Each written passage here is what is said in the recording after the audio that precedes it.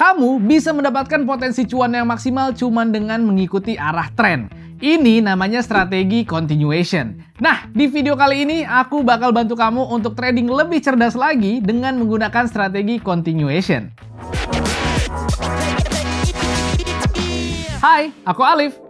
Sebelum kita masuk ke pembahasan kali ini, aku ingin ingatkan ke teman-teman jangan lupa untuk subscribe dan juga nyalakan tombol bell notifikasi supaya kalian gak kelewatan tips-tips seru seputar trading forex di channel YouTube MIFX. Oke, langsung aja kita mulai ya. Continuation atau kelanjutan arah merupakan momen di mana tren harga akan melanjutkan tren yang sudah terjadi sebelumnya, baik itu naik ataupun turun. Bagi para trader, momen continuation ini bisa menjadi kesempatan emas untuk meningkatkan potensi profit tanpa harus menebak arah market.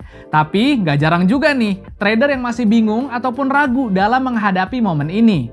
Mereka mungkin nggak tahu cara melihat tanda continuation yang valid atau bahkan terjebak dalam false signals yang bisa menyebabkan kerugian. Memang, tanpa pemahaman yang jelas, trader gampang banget melewati peluang yang ada di momen ini, atau bahkan mengambil keputusan yang salah sehingga berdampak negatif terhadap hasil tradingnya. Salah satu cara untuk mengetahui tanda akan terjadinya momen continuation adalah dengan melihat chart pattern. Cara ini sangat bagus untuk mengidentifikasi harga akan bergerak ke arah tren yang sama setelah terjadinya koreksi harga sementara.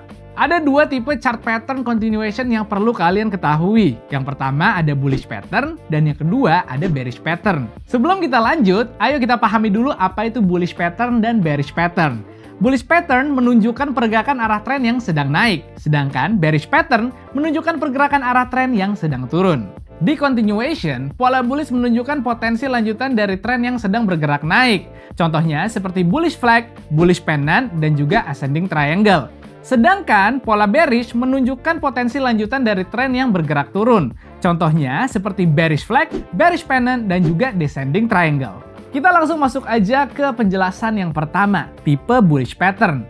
Ada pola bullish flag. Sesuai dengan namanya, pola ini bentuknya seperti bendera yang berkibar.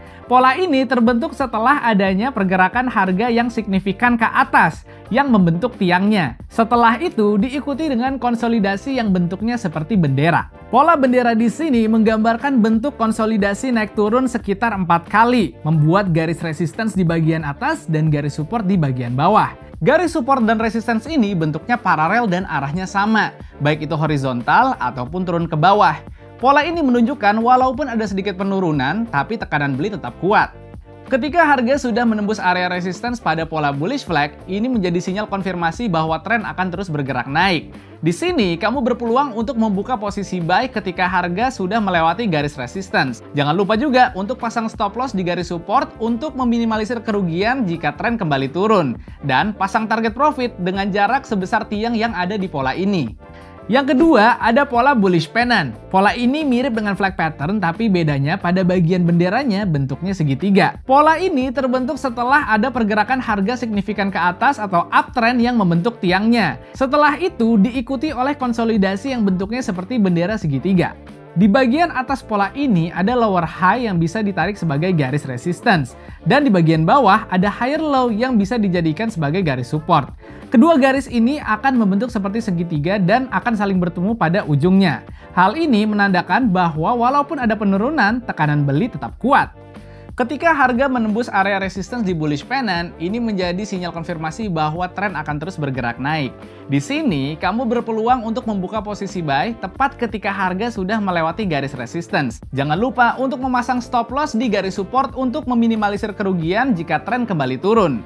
Dan memasang target profit dengan jarak sebesar tiang yang ada di pola ini. Terakhir, ada pola ascending triangle. Bentuknya mirip dengan pennant, Pola ini menunjukkan adanya pergerakan harga yang signifikan ke atas atau uptrend sebagai tiangnya. Setelah itu diikuti oleh konsolidasi yang berbentuk seperti bendera segitiga dengan garis mendatar di bagian atas yang menjadi acuan garis resistance. Sedangkan di bagian bawahnya membentuk higher lows yang membentuk ascending trend line yang berguna sebagai garis support. Pola ini menunjukkan adanya tekanan beli yang sangat kuat. Ketika harga sudah menembus area resistance pada ascending triangle, ini menjadi sinyal konfirmasi bahwa tren akan terus bergerak naik. Di sini, kamu berpeluang untuk membuka posisi buy tepat ketika harga melewati garis resistance. Jangan lupa untuk memasang stop loss tepat pada garis support untuk meminimalisir kerugian jika tren kembali turun. Dan pasang target profit dengan jarak sebesar tiang yang ada di pola ini. Bentuk candle juga memainkan peran penting dalam memvalidasi pola-pola bullish ini. Selama fase konsolidasi di bendera, kalian akan melihat candle yang lebih kecil dan menyusut, baik saat pembentukan lower high ataupun dalam pergerakan harga yang horizontal. Ini menunjukkan berkurangnya tekanan jual dan ada potensi pembalikan arah. Setelah itu, bentuk candle akan meningkat secara signifikan saat harga melewati garis resistance. Hal ini mengindikasikan bahwa momentum bullish akan kembali menguat dan tren harga akan melanjutkan pergerakannya ke atas. Perubahan bentuk candle ini memberikan konfirmasi tambahan bahwa continuation memang akan terjadi. Berikutnya, ada tiga tipe bearish pattern. Bearish pattern ini pada dasarnya hanya kebalikan dari bullish pattern. Yang pertama, ada pola bearish flag. Seperti namanya, bentuknya seperti bendera yang berkibar. Pola ini terbentuk setelah pergerakan harga yang signifikan ke bawah atau downtrend sebagai tiangnya lalu diikuti dengan konsolidasi yang bentuknya seperti bendera. Pola bendera di sini menggambarkan bentuk konsolidasi yang naik turun sebanyak empat kali, membentuk garis resistance di bagian atas dan garis support di bagian bawah. Garis support dan resistance ini bentuknya paralel dengan arah yang sama, baik itu horizontal ataupun naik ke atas. Pola ini menunjukkan walaupun ada sedikit kenaikan, tekanan jual tetap kuat. Ketika harga sudah menembus area support pada bearish flag, ini menjadi sinyal konfirmasi bahwa tren akan terus bergerak turun. Di sini, kamu berpeluang untuk membuka posisi sell tepat ketika harga melewati garis support. Jangan lupa untuk memasang stop loss di garis resistance untuk meminimalisir kerugian jika tren kembali naik. Dan pasang target profit dengan jarak sebesar tiang bearish yang ada di pola ini. Yang kedua, ada pola bearish pennant. Bentuknya mirip dengan flag pattern, tapi bedanya pada bagian bendera bentuknya itu segitiga. Pola ini bisa terjadi setelah adanya pergerakan harga signifikan ke bawah atau downtrend sebagai tiangnya, setelah itu diikuti dengan konsolidasi yang bentuknya seperti bendera segitiga. Di bagian atas pola ini terdapat lower high yang bisa ditarik garis resistance dan di bagian bawahnya terdapat higher low yang bisa ditarik garis support. Kedua garis ini akan membentuk segitiga dan akan bertemu pada ujungnya. Pola ini menunjukkan walaupun ada sedikit kenaikan, tekanan jual tetap kuat. Ketika harga menembus area support pada bearish pennant, ini menjadi sinyal konfirmasi bahwa tren akan terus bergerak turun. Di sini, kamu berpeluang untuk membuka posisi sell tepat ketika harga melewati garis support. Jangan lupa untuk memasang stop loss di garis resistance untuk meminimalisir kerugian kalau tren kembali naik dan pasang target profit dengan jarak sebesar tiang yang ada di pola ini. Terakhir, ada pola descending triangle. Bentuknya mirip dengan pennant. Pola ini menunjukkan adanya pergerakan harga yang signifikan ke bawah atau downtrend sebagai tiangnya. Selanjutnya, diikuti dengan konsolidasi yang bentuknya seperti bendera segitiga dengan garis mendatar di bagian bawah sebagai acuan garis support. Sedangkan di bagian atasnya membentuk higher lows yang membentuk descending trend line yang berguna sebagai garis resistance. Hal ini menunjukkan bahwa ada tekanan jual yang sangat kuat. Ketika harga sudah menembus area support pada descending triangle, ini menjadi sinyal konfirmasi bahwa tren akan terus bergerak turun.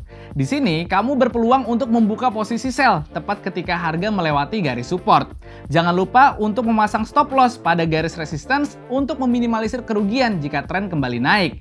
Dan terakhir, memasang target profit dengan jarak sebesar tiang yang ada di pola ini. Bentuk candle ini juga memainkan peran yang penting dalam memvalidasi pola-pola bearish ini.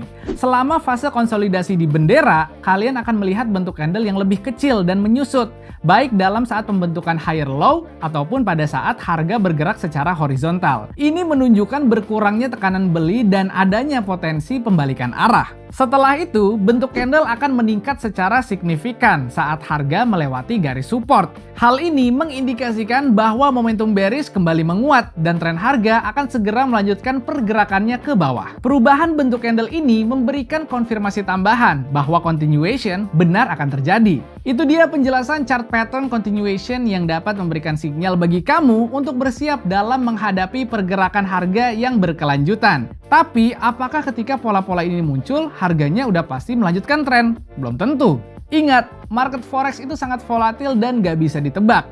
Harga bisa mengikuti arah tren atau tiba-tiba berbalik arah.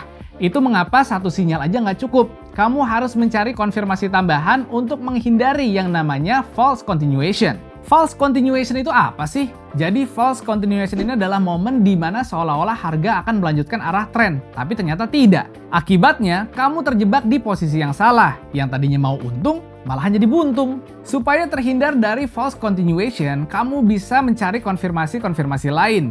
Jangan hanya mengandalkan chart pattern. Kamu juga bisa memanfaatkan indikator-indikator tambahan lainnya untuk memperkuat analisis kamu. Misal nih, kamu melihat chart pattern bearish flag, terus harganya juga udah melewati garis support. Walaupun di indikator tambahan yang kamu pilih, contohnya stochastic, itu belum ada sinyal yang kuat bahwa tren akan terus lanjut arah karena harganya udah masuk ke wilayah overbought. Tapi karena nggak sabaran, kamu buru-buru buka posisi sell karena takut kehilangan momen. Ternyata harganya malah balik arah dan kamu kena stop loss. Ini namanya kamu kena false continuation. Kalau kamu melihat kasus seperti ini, jangan buru-buru buka posisi. Lebih baik kamu tunggu kelanjutan harga atau tunggu beberapa sinyal lainnya yang menguatkan terjadinya continuation. Baru deh abis itu kamu buka posisi. Ingat, gak ada strategi yang 100% pasti benar. Penting buat kamu untuk punya exit plan yang jelas. Tentukan level take profit dan juga stop loss sebelum kamu membuka posisi supaya kamu bisa mengelola resiko dengan baik, menjaga modal, dan memaksimalkan potensi keuntungan. Keputusan yang terencana adalah kunci sukses dalam trading. Oke, sekian video kali ini. Aku harap kalian jadi lebih matang lagi dalam mengambil keputusan trading menggunakan strategi continuation yang tadi aku udah jelasin. Nah, buat kalian nih yang serius ingin mendapatkan uang tambahan dari trading forex, tapi masih takut untuk terjun langsung menggunakan akun live, kalian bisa belajar menggunakan akun demo yang ada di aplikasi MIFX. Link downloadnya udah ada di kolom deskripsi ya. Pastikan kamu sudah subscribe supaya nggak ketinggalan video berikutnya. Like kalau misalnya kamu suka video ini, komen pakai hashtag nanya MIFX kalau ada pertanyaan, dan share juga ke teman-teman kalian ya. Sampai jumpa di video berikutnya.